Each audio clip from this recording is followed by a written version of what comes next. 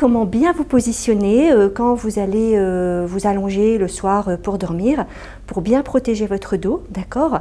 Et ces postures vont être aussi valables si vous voulez faire une séance de relaxation. Donc on va commencer en position allongée. Donc vous allez venir vous installer, donc bien profiter de ce coussin magique, coussin de, de grossesse qui est modulable avec les petites billes. Donc on va bien s'installer. Voilà. On n'hésite pas à bien mettre les épaules à ce niveau-là. Donc là, on va venir installer un coussin sous les genoux. Voilà, donc on bascule bien le bassin vers l'avant pour que le dos soit bien à plat. Le coussin est sous les genoux. Et de, cette façon, vous avez donc le dos bien à plat et le corps qui peut bien se relâcher. Donc on a bien les épaules au niveau du coussin pour euh, bien euh, s'installer.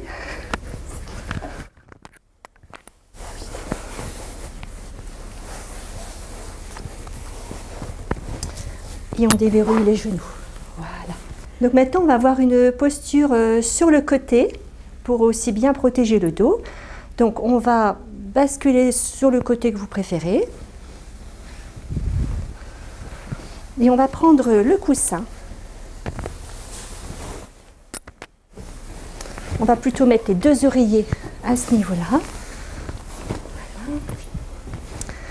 Et on va mettre, venir mettre ce coussin entre les jambes. Voilà. Comme si vous faisiez un, un câlin à votre coussin. Voilà, et on bascule bien le bassin, de sorte que là, le dos est bien étiré.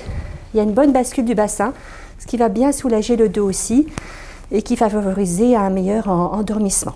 Donc là, maintenant, on va avoir une posture assise qui, euh, éventuellement, pour la relaxation, pour vous éviter de vous endormir. Donc, euh, on va venir mettre sous coussin comme ceci, avec un oreiller. On va bien s'installer, bien se caler au fond. Et on va venir mettre toujours le coussin sous les genoux. Voilà, donc pour bien protéger le dos, l'angle ici doit toujours être inférieur ou égal à 90 degrés. Ça va? On va voir aussi comment bien euh, utiliser euh, ce coussin. Donc on va aussi pouvoir le réutiliser dans une autre position allongée. Donc vous allez bien vous allonger, mettre les deux oreillers à ce niveau-là et venir plutôt l'installer sous les genoux. Voilà, toujours bien basculer le bassin pour le dos soit bien à plat.